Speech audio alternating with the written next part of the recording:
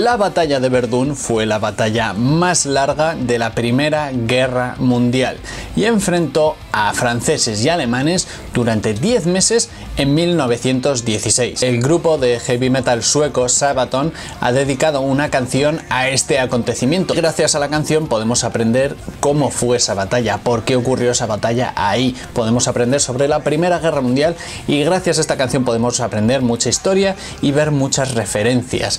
Así que te invito a que te quedes en el vídeo porque vamos a aprender muchísimo. La batalla de Verdún, también conocida como la picadora de carne. Intro.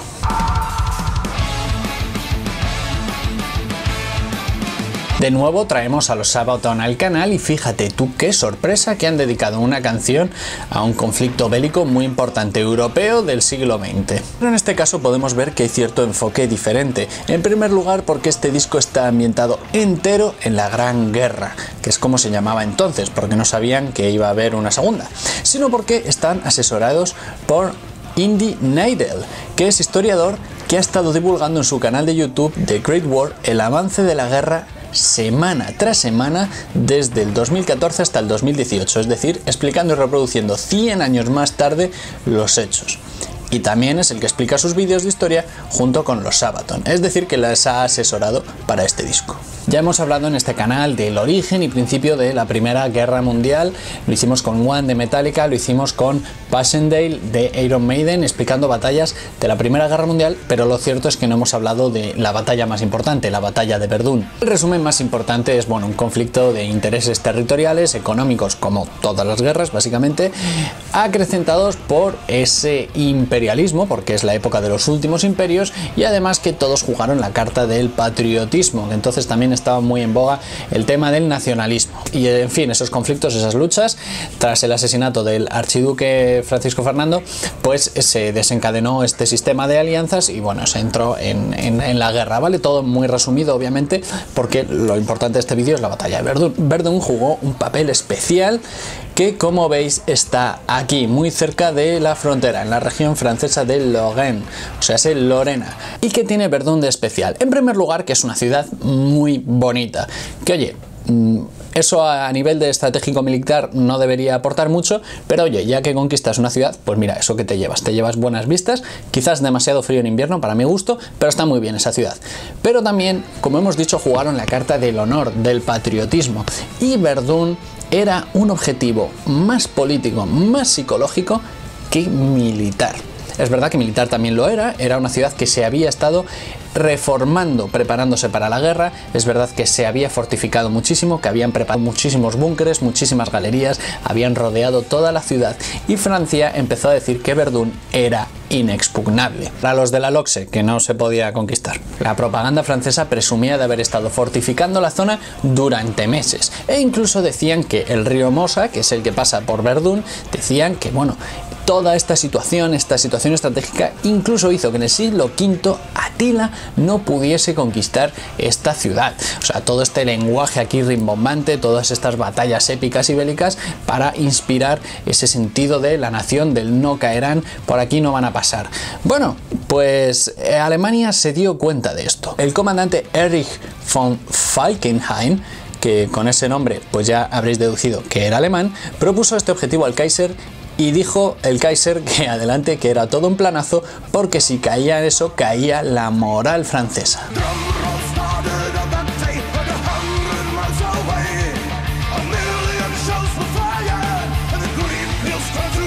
El 21 de febrero de 1916 comienza el ataque con 16 días de retraso debido al mal tiempo. Los que estaban en invierno en el centro de Europa, o sea, yo no sé qué esperaban, que, hubiese aquí un solazo, una playa, palmeras y un daiquiri.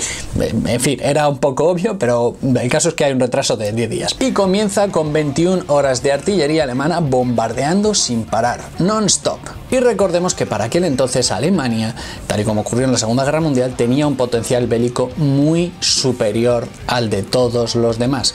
Lo explicamos en el vídeo de Sabaton Cliffs of Gallipoli. Por ejemplo, se decía que iba a ser una guerra muy rápida, una guerra que iban a hacer las trincheras, las iban a acabar, iban a estar ahí unos días, unos meses como muchos y se iba a acabar. Alemania, por lo que fuese, sabía que no iba a hacer eso. Y cuando estuve por los museos de la Primera Guerra Mundial, justo por esa zona, el 11 de noviembre de 2017, 2018, en el aniversario, en el centenario del fin de la Primera Guerra Mundial, nos explicaron que los alemanes habían creado verdaderos búnkeres, edificios internos, galerías muy pensadas para pasar ahí años. Lo cierto es que la triple entente, los aliados, Francia e Inglaterra, habían cavado las trincheras en plan, bueno, esto se acabará mañana y ya está. Lo que les pasó mucha factura, obviamente.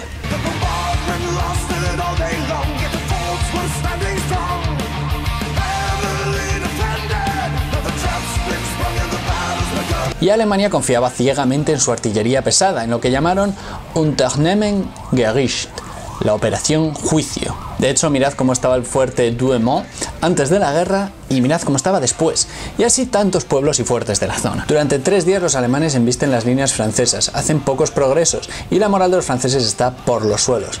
El primer día pierden 1.800 hombres de 2.000 y el 25 cae este fuerte que os he comentado antes, encima por un error burocrático los franceses que no habían preparado bien las defensas. Pero Verdún no podía caer. Como os digo, era un objetivo más político que estratégico. Así que el día 25 de febrero deciden poner al mando al señor Philippe Pétain, que a muchos os sonará por lo que pasó en la Segunda Guerra Mundial, pero lo cierto es que él, tras la Primera Guerra Mundial, él era un héroe nacional, el héroe de Verdún. Se le considera el artífice de, por el cual ganaron la batalla de Verdún los franceses y por eso Verdún no cayó, por él decidió que había que cambiar la estrategia. No se podía mandar a los soldados sin más con cargas locas hacia las ametralladoras, que era muy habitual en la Primera Guerra Mundial. Decidió poner más servicios de ambulancias y de enfermería, más rotación de soldados, decidió alimentar mejor a las tropas. Se le consideraba que era el que aportó más humanidad a sus propias tropas en esa batalla. Se acabaron muchos de los fusilamientos sumarios. Pensad que en la Primera Guerra Mundial, si estabas cargando y te entraba un ataque de pánico, te consideraban un cobarde y te fusilaban. Esto en los dos bandos. ¿eh? De hecho, además, fue el primero en crear una división aérea para proteger el cielo de Verdún, algo que no se les había ocurrido en el momento. Así que, como os digo, se, se le consideraba el vencedor de Verdún. ¿Y por qué digo que esto es sorprendente teniendo en cuenta lo de la Segunda Guerra Mundial? Dejamos un momento aparcado Verdún, pero es que... Eh, estamos hablando de un héroe nacional en aquellos años que luego fue completamente desacreditado porque básicamente fue quien presidió el gobierno, la mitad del gobierno francés, que colaboró con los nazis.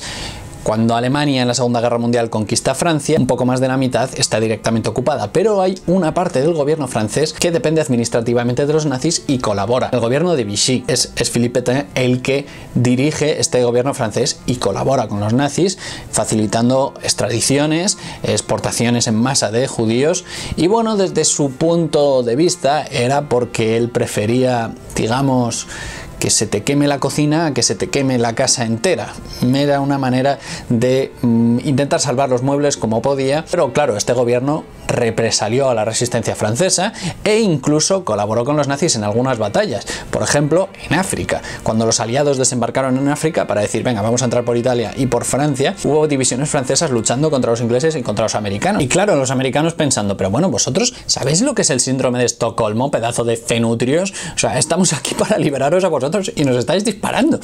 Pero bueno, él acaba la guerra, va a Alemania, luego vuelve y se presenta para ser juzgado en Francia y obviamente se le acusa de alta traición se le despoja de todos sus rangos y se le sentencia a muerte. Pero como en la mayoría de los casos cuando se sentencia a muerte a, un señor que ya es un abuelo, pues, pues no, se, no se le mata, sino que se le deja vivir, aunque en este caso primero en los Pirineos, en una casa por ahí, y luego en la isla de Yeu, de cerca de, Nantes, ¿no? que es más o menos lo que se hace con todos los desterrados que les mandas ahí una isla. Pues como hicieron con Napoleón en la isla de, de Elba y luego en Santa Elena, como hicieron con los prisioneros ingleses que los mandaban a Australia y Nueva Zelanda, o como, yo que sé, el conde de Montecristo en la isla está cerca de Marsella, en If. ¿Y de qué os estaba hablando? Ah, sí, la batalla de Verdún.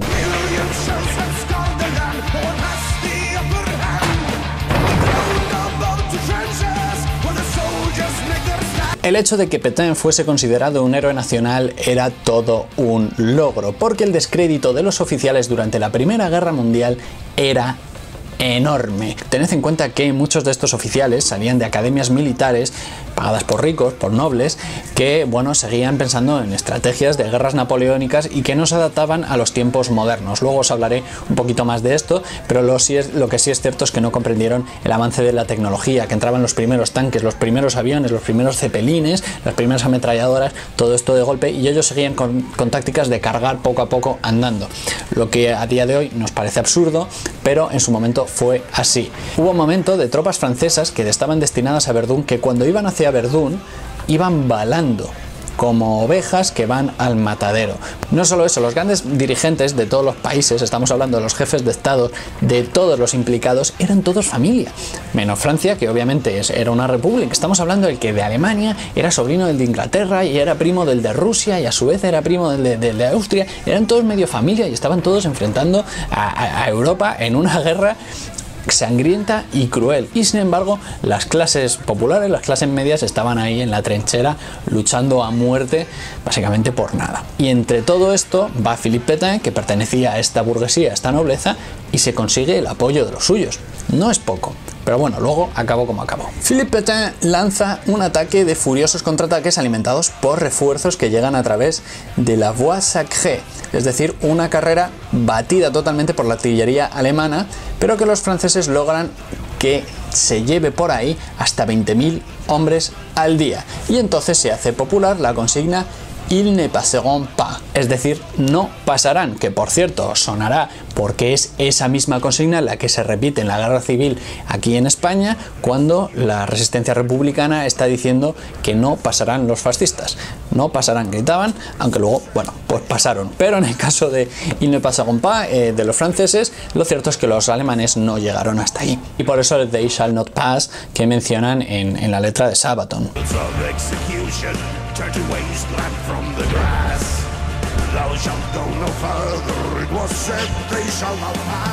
Es aquí cuando comienza la batalla de desgaste. El general Falkenhayn, a ver que están parando sus ofensivas, pues se pone farruco y pues nada, a ver quién aguanta más.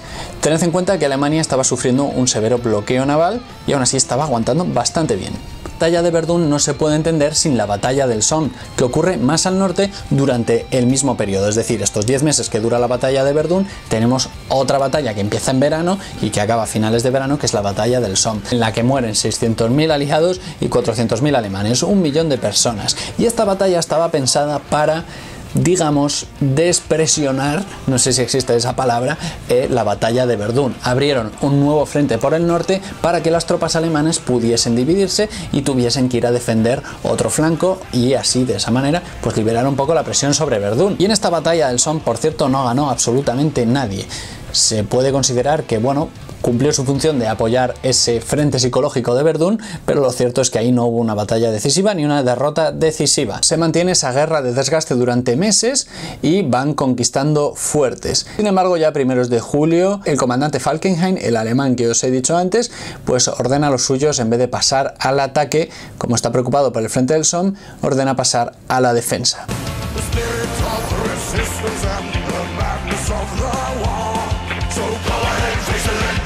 Y es en estos momentos también donde la contraofensiva francesa se complica porque empieza a entrar otro elemento bélico en la guerra, que es el gas que crearon los alemanes, eh, que no era ni el gas mostaza ni el gas sarín todavía, era un prototipo de gas de todo este tipo, pero eso empezó a complicar más y más la guerra también.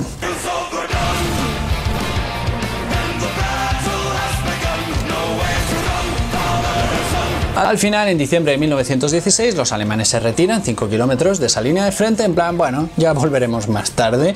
Y el caso es que, bueno, se finaliza esta guerra, este frente de Verdún. El caso es que finaliza tras 303 días de batalla, este frente de Verdún, esta batalla con medio millón de franceses muertos y 400.000 alemanes.